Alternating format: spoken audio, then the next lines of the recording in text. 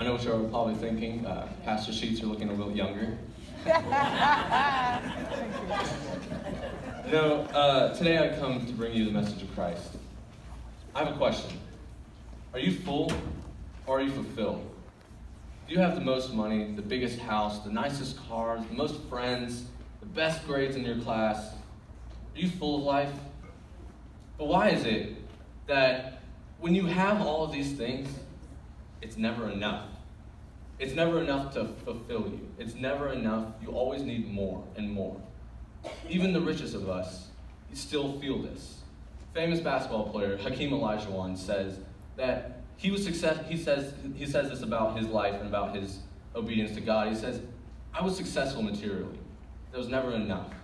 I was blessed by God, and the only way to give thanks is obedience to Him."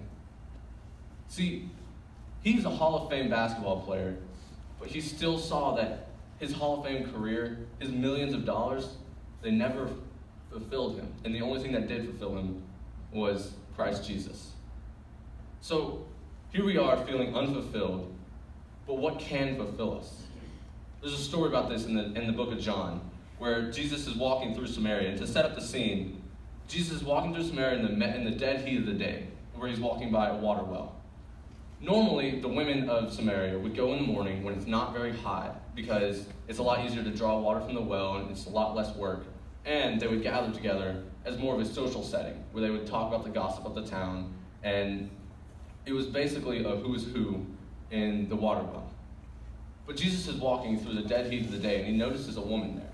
And he knows her, and by his, by his, by his knowing her, he says he knows that he has had, that she has had five or six husbands many husbands before, and so she's a social reject. That's why she's there in the dead heat of the day, because she does not want to be faced by all the other women in the morning. But he walks up to her and he says, Will you give me a drink? And she says, You are a Jew. I am a Samaritan woman. How can you ask me for a drink? And then I'll go into the passage, and he says, If you knew the gift of God, who is, who is asking you for a drink, you would have asked him, and he would have given you living water. She says, Sir, you have nothing to draw draw with, and the well is deep. Where can you get this living water? Are you greater than the father of Jacob, who gave us the well and drank from it himself, as he did also his sons and livestock? See, what she did not realize is who she was talking to. How many times in our life do we walk through do we walk through saying, Sorry God, I'm gonna put you to the side for now because I want to follow my dreams. I want to follow my dream of becoming the richest or having the best class, getting to the best school. I find myself a lot of times just getting enveloped by going to college, finding the best college, going to so many different prestigious schools that you don't realize that Jesus is offering you living water. He says to the woman, Everyone who drinks of this water will be thirsty again. But whoever drinks of the water I give them will never thirst. Indeed, the water I give them will, will come in them a spring of water welling up in eternal life. See, God is just standing there offering you living water of eternal life but we want the water in the well, so we set them aside. What does that do to us with the first commandment of saying, Thou shalt no other gods before me? We have made a covenant with God that we're going to put him first in everything that we do, but when we thirst for the water of the well, of money, fame, that's what we're doing is we're putting him aside saying, no thanks, I'm gonna put I'm gonna put money in front of you. So what is the bread of life? What is this what is this picture of the bread of life that God has given us? Well, in the chapter in the sixth chapter of John, Jesus explains what the bread of life is. He says, I am the bread of life. Whoever comes to me will never go hungry, and whoever believes in me will never be thirsty. Jesus is giving himself up for us because his body and his blood that he shed on the cross is what gives us eternal life and what gives us that fulfillment in life. but what is that fulfillment? And that fulfillment is the overflowing joy that Jesus gives us. My father went to Africa about four years ago, and he went down to Tanzania where people walk tens of miles just to get water. They walk, and this water is not even clean water like we can get from our faucet. It's water that's infested with diseases. But on Sunday morning, they walk another 10 miles just to go get, just to go worship the Lord and stay joyful, praising the Lord for hours because they know that, that they are fulfilled only in Him. So what do we do as we find this? As we find this, uh, what do we do that inhibits us from finding this joy? In the Isaiah reading that you just heard, he says, uh, the Isaiah says, "Why do you spend Why do you spend money on what is not bread, and why do you labor on what does not satisfy?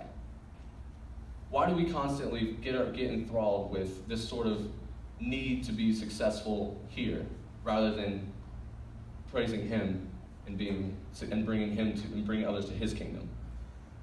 He says, Listen to me and eat what is good, and you will delight in the richest of fare. When we focus our minds on what is rich, that is praising the Lord, we find we feel fulfilled. And we feel this overflowing joy praising God and spreading others. Now, once we find this bread, what do we do with it? Do we keep it, keep it to ourselves, not share it? What are we as Christians if we do not share it? We are the body of Christ. So why can't we share it with others? Here in our here in our own community of Chattanooga, we have so many opportunities to share his bread, but we don't because we're laboring on what is not bread. We, we have constant we have constant opportunities of people people walking as you drive down the street. I work down at the federal building for uh, down on Georgia Avenue, and many of you guys are familiar with Miller Park and Miller Plaza, which is now being destroyed. But when I would walk through there, I'd have to walk through Miller Plaza to go to lunch. And there's homeless people, there are homeless people sitting there who have not even heard the love of Christ, who don't, don't know it. But too often do I, do I find myself crossing the street, walking the other side of the street just so that I don't have to interact. Why is it that we can't just share the, share the love of Christ? So when we are sharing the love of Christ, we finally we, we feel this fulfillment and he says, and God leaves us with this, this covenant. He says, I will leave you an everlasting covenant. He says, uh, Surely you will summon nations you know not, and nations you do not know will come running to you. Because the Lord your God, the Holy One of Israel, for he has endowed you with splendor. See, when God, when God uh, makes this covenant with us, we must also make the covenant with him that we're going to spread his, that we're going to spread his, his love and his life because when, when we do that, He brings us blessings and He brings us the joy and the love of Christ. And also, when we, when we are sharing this, we, find, we feel this, this happiness that we, are, that we long for that satisfies us.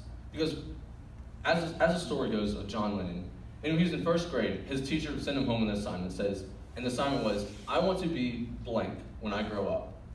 So when they came back the next day, all of his friends said, I want to be an astronaut. I want to be a policeman.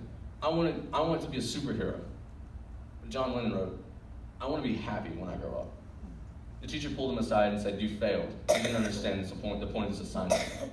And John Lennon says, You didn't understand the point of life. So, if the point of life is to follow all of our dreams of becoming astronauts and policemen, we too do not understand the point of life. And we find happiness through his body and through his blood. And through this blood, that we take in communion, we are given the bread of life, the fulfillment of life when we share when we share the when we share the communion. So I leave you with a challenge this week. Find a way that you can appreciate the bread of life, whether it be in the morning where you, const- where you, where you constantly pray to God, let me focus on you today. Let me focus my eyes on you and not on the things of this world.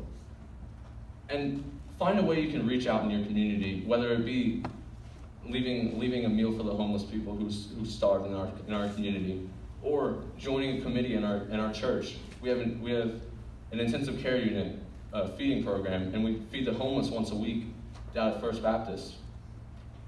I, I challenge you that if you that you if you share your community, you will finally see this fulfillment that Christ has promised you, and you will be endowed with splendor. Now may the grace of God, which passes all understanding, keep your hearts and minds on Him. Amen. Amen.